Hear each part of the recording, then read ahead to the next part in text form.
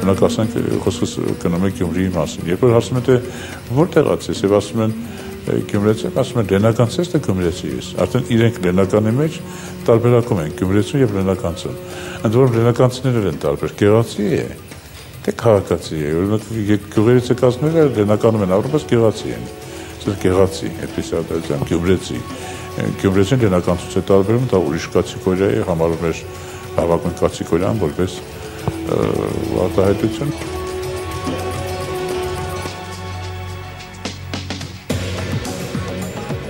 Բայց անշուշտ կան այստեղ բազում դրական ածականներ նույնպես։ Եվ շատ հաճախ դրանք դուք գիտեք բառային ֆորմուլայի մակարդակի հասած են այնպիսի արտահայտություններ, ինչպես օրինակ շաշլորեցի հասկացությունը, իր մեջ այնքան շատ քնքշանք, համակրանք է պարունակում եւ չնայած շաշ բառի ընդհանուր նեգատիվ իմաստին, որ նշանակում մի քիչ հիմարավուն, լուրեցու հանդեպ այս շաշ տերմինը բովանդակային ավելի ձեռք է բերում բարձության, անկեղծության,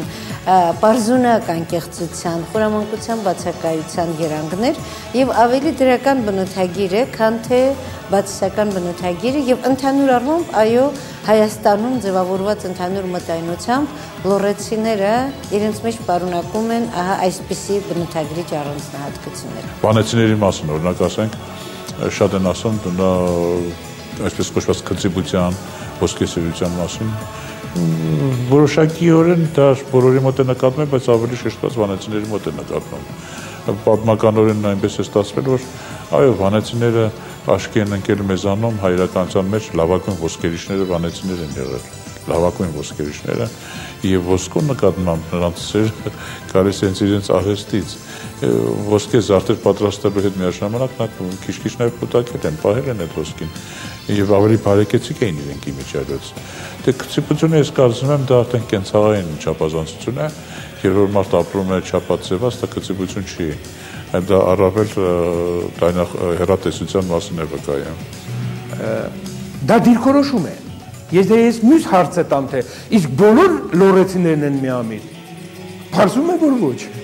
Կամ ասենք թե ասում են Սևանի ավազանի բնակիչները ի տարբերություն մնացած բնակիչներին ասենք խմիչք շատ են օգտագործում եւ դա բացատրվում է բնակլիմայական պայմաններով։ Երբ որ ես հարց տամ, իսկ բոլորն են ավելի շատ օգտագործում խմիչք։ Պարզվում է, որ ոչ։ Այսինքն սրանք աշխատում են դիրքորոշումները, հոգեբանական իմաստով դա ոչ գիտակցական պատրաստականությունն է համապատասխան վարկ ցուցաբերել, գնահատական տալ, կախված իրադրությունից։ Այսպես մի բարձ օրինակ ասեմ։ Եթե որևէ մարդու հետ հանդիպում եք, երկու դեպք իրավիճակ նայենք, հա, մեկն ու մեկս հանդիպում ենք անծանոթ մարդու եւ երկուստեք մի քիչ վերապահում են բացարձակ ոչինչ չգիտեն այդ մարդու մասին, որոշ վերապահում կա հարաբերություններում։ Ենթադրենք դրանք տարբեր ազգությունների ներկայացուցիչներ են, հենց որ ինչ որ ձևով ողջվում է դիմացինի ազգությունը, այդ դիմացին, որին բացարձակ չենք ճանաչում։ Նրա վրա մենք տարածում ենք այդ ազգության մեզ ծանոթ բոլոր տեսական կամ գործնական վերագրումները։ Իհարկե յուրաքանչյուր գավառ, յուրաքանչյուր շրջան իր առանձնահատկություններ ունի, որը տարբերվում է մյուսներից։ Ասեմ, անշուշտ Ղարաբաղը ճիշտ է, որ առավել հայտնի է իր մարտունակությամբ։ Դա շատ բացատրելի է, թե ինչու է այդպես եղել Ընդհանրապես օտար թերապետության պայմաններում երբեք հայերը իրավունք չունեն զենք կրելու։ Փաստ է, որ հայերը զենակորձ էին, սակայն զենք կրելու իրավունք չունեն, նրանք զենք են պատրաստում թուրքերի ու պարսիների համար։ Մի հատ բացառությունը կա, եզակի բացառությունից մեկը, որ հայերը կարող են ոչ միայն զենք պատրաստելու զենք կրել, դա զեյթունում է։ Զեյթունի առանձնատկությունը այստեղից է գալիս, նրանք կռվում են, որովհետև զենք ունեն։ Սասունում զենք ունեն, կռվում են, կարենում չունեն, չեն կռվում Կամ ասենք Արցախը նույն 1722 թվականին, երբ որ հայկական լեռներում ազատագրական պայքարի պայքարը սկսվեց, դա եղավ Արցախում եւ Սյունիքում, եւ պատահական չէր այդ անգամանկը։ Այստեղից է գալիս է ավանդական նրանց, ասենք, այդ գիծը։ Իհարկե, այս առումով տարբերություններ կան։ Եվ փարկացու որ կան։ Փարկացու որ մենք բոլորս իրար նման չենք։ Եվ այստեղ նորից եմ ուզում նշել, որ կարևորությունը կայանում է նրանում, որ մենք կարողանանք սովորեցնել, հասկացնել, համապատասխան սերունդ դաստիարակել, որ այդ տարբերությունները նորմալ երևույթ են եւ այդ տարբերությունները չպետք է լինեն հիմք հակասության, այլ հակառակ։ Իմ կարծիքով մեր գրողները, պատմաբանները եւս ինձ մեղքի բաժին ունեն այսպիսի տարապաշանման ժամանակ, գավառական ասենք հայրենասության միտումներով, երբ որ շեշտում է թե օրինակ Արևելյան Հայաստանը, երբ որ կորցրել էր պետականությունը, նույն այդ ժամանակ Ղարաբաղում պետական իշխանության մնացորդները պահպանվել էին։ Ինչի մասին է խոսքը, դա նույն Հայաստանը չի։ Ինչու շեշտել եւ տարբերակել Հայաստանը Ղարաբաղից, Ղարաբաղը Հայաստանից։ Կամ շեշտվում է թե Ղարաբաղցիները հայտնի են իրենց քաջակորձություններով եւ այլն։ Դրանք Ղարաբաղցիներ չեն, դրանք նախ եւ առաջ հայեր են։ Հրացնելու համար ես հիշեցնեմ, որ շատ հաճախ մենք ունենք, ասենք, ապարանցին էսպիսին տեխնիկա վար։ Հետո իրար խոսելիս ասում ենք, ապարանցիա, բայց ոնց որ ապարանցի չլինի։ Ղարաբաղցիա, բայց ոնց որ Ղարաբաղցի չլինի։ Այսինքն մենք արդեն նրան վերագրել ենք ինչ որ նորմեր, որը անմերժելի ենք համարում եւ հիմա դրանից դուրս շահումը կարծեք մեզ զարմացնում է։ Անշուշտ պատմական իրերի բերումով ես կարծում եմ թե սրանք խմբագրվելիք երևույթներ են։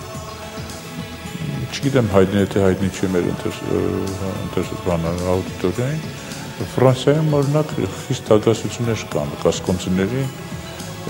եւ մարսելցիների միջեւ, նորմանդացիների, նորմանդիայում ապրող ֆրանսիացիների, հյուսիսի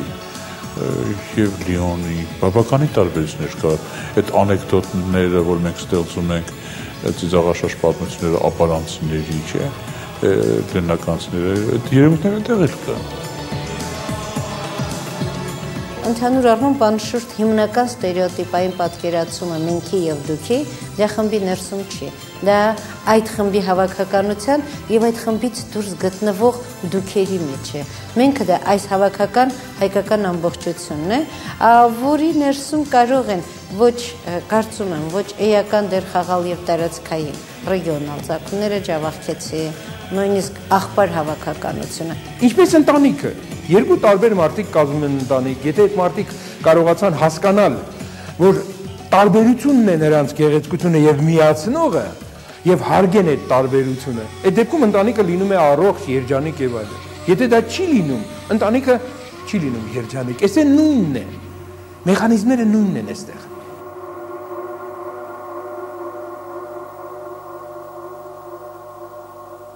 հայոց մեջ թերևս աշխարհում ամենամեղ մարտահայտված խմբերից մեկն է, էթնիկ հանրություններից մեկն է, որտեղ այդպիսի տարբերակումներ առհասարակ դրսևորվում են։ Նախ չկա այդպիսի էթնիկ հանրություն, որում չլինեն այդ կարգի տարբերակումներ։